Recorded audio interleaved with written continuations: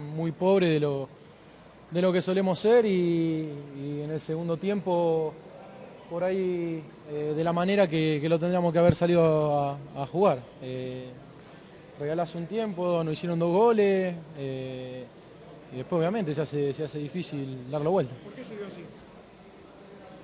No sé, sinceramente ya, ya lo, lo analizaremos tranquilo. Por ahí un equipo nuevo, se podría decir, varios, eh, varios jugadores por ahí que, eh, que por ahí no, venían jugando, pero tampoco era un partido que tenía un ritmo tan frenético. Creo que había espacio como para jugar eh, y en algunos errores nuestros terminaron convirtiendo con dos corridas por ahí largas. Después, el segundo tiempo sí es lo que nosotros queremos, ir a buscar así los, los partidos, pero se dio el partido torcido de movida y, y después hace difícil, como te digo, eh, remontarlo. Damián, eh, ¿pensás que lograron abstraerse de, de- de lo que significa el gran partido que tienen el próximo miércoles?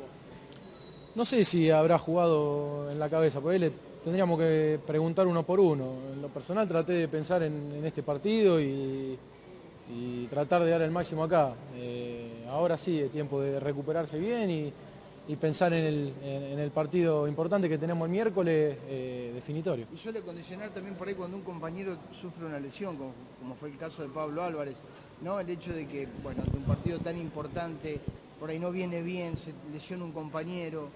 Sí, sí, se dieron varias cosas. Igualmente creo que eh, la, la culpa principal es nuestra, no haber eh, entrado con, con la agres- agresividad, si se quiere, o, o de la manera que lo, por ahí sí entramos el, el segundo tiempo. Eh, lamentablemente es tarde.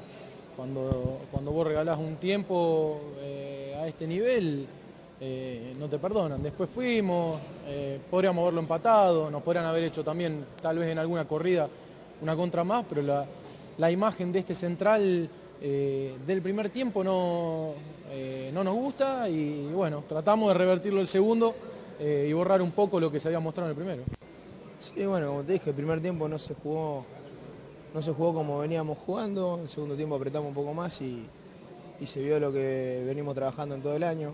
Eh, nos llegó a alcanzar para, para dar vuelta al resultado. Y bueno, ahora se viene una gran final y estamos pensando en eso. ¿Costaba, costaba mantener la, la motivación, digo, teniendo en cuenta la gran diferencia que había sacado Boca arriba? ¿Cómo? Si costaba mantener la motivación pensando en la gran diferencia que había tenido Boca hasta acá. No, siempre estuvimos motivados, siempre estuvimos peleando el torneo.